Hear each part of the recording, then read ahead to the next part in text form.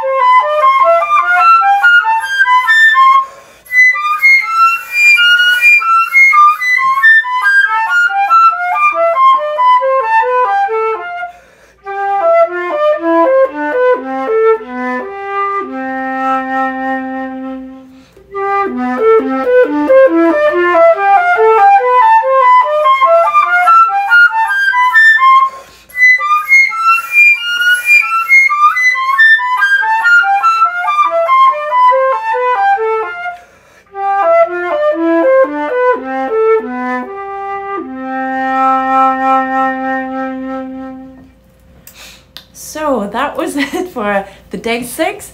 Um, this was uh, actually written only the original was from page 26 and 27 and I added the 28 with the low B and until the fourth register and this EJ6 is very useful for uh, not only learning thirds and sixth but you have to have a look take a look um, between the thirds in the ascending there's a second as well as you come down da da da that's so you get to learn the second as well and uh, measure seven you go up in the fourth after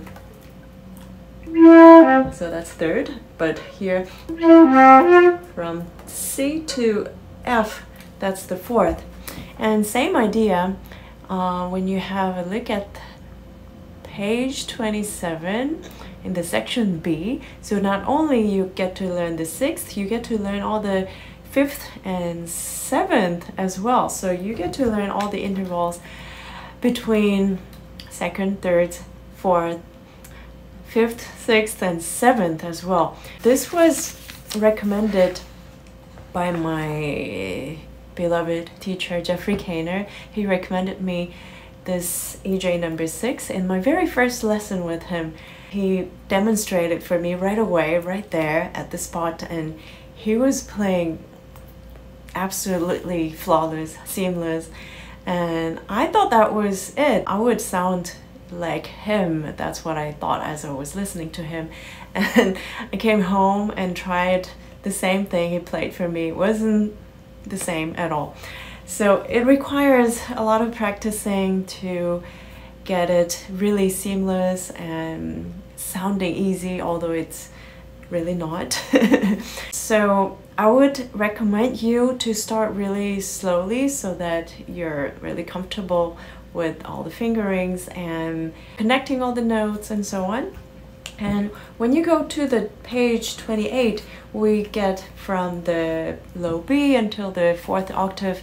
And when you get to the fourth octave, you need more air. So I was taking breath right before in the bar line before we go into the fourth register.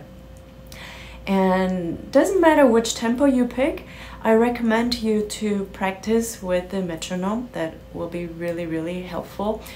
And always listen for the intonation between the third, second, sixth, every intervals you have you have to also develop your ear. And of course like every exercise we're doing every EJs we're doing in this book uh, I recommend you to explore a little bit with different keys and different articulations. So that was it for today and see you later tomorrow